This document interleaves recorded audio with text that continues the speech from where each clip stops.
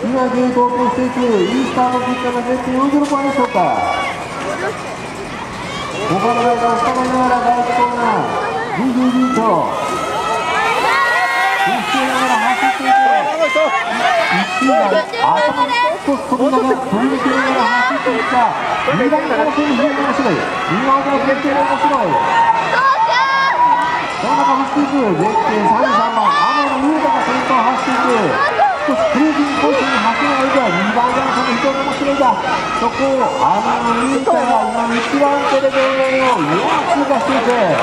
2番手には絶景53番。